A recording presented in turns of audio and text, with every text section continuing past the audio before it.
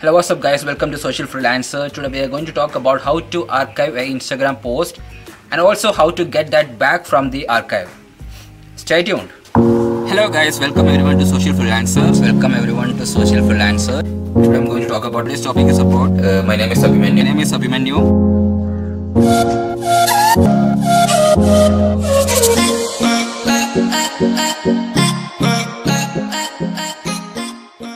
Hey, my name is Abhimanyu. I create how-to videos, video tips and some ideas which might be very helpful for you to improve your lifestyle.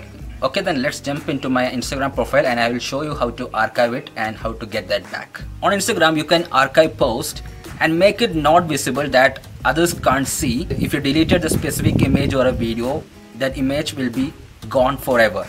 Instead of deleting that specific image or video you can archive it so that later you can get that image or a video back. It's more like a backup. So i will show you how to archive an instagram post and also how to get that back from the archive. Okay let me open my instagram profile. Uh, choose any image from your profile. See in case if you don't want this image to be visible in your instagram profile the next step what you have to do is see these three dots here right? Click that three dot and go to archive press archive. And after that go to your profile and just refresh it. See that image has gone. Okay? And if you want to get that image back from the archive section what you have to do is is go to the instagram profile. On top you can see a logo in shape of a clock. Click that. When you click that you can also see stories archive and post archive select post archive. See the image is visible in the archive section which I added from my profile just now.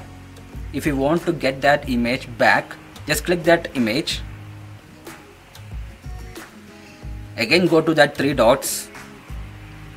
On top you can see show on your profile. Click show on profile next what you have to do is go to your profile then refresh it. See? That image is back on your profile. Okay yes if you like this video please do share subscribe and comment. And if you have a topic on your mind just leave a comment below in the comment section. I will try to make a video with that topic. Cheers guys. Thank you